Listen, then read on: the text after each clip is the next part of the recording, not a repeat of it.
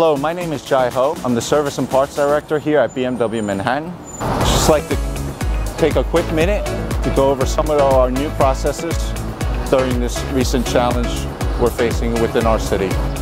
We decided that we are going to remain open during the duration to try and service our first responders and also our essential workers that also work and live in the city. It is important for us to support those people as much as we can with our limited staff. We continue to service regular clients also. You can book a regular appointment by scheduled pickup and delivery.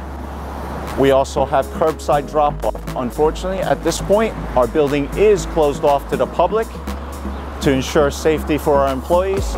We thank you for your continued patron and we look forward to seeing you again. My name is Rada Tucker. I'm a service advisor here at BMW of Manhattan. Ralph Lizardo, service advisor at BMW of Manhattan. I'm Frank Worrell, BMW of Manhattan. Sultan Handra, and I'm here at the BMW of Manhattan family. My name is Jim Reed. I'm the service advisor here at BMW Manhattan. And we look forward to seeing you face to face.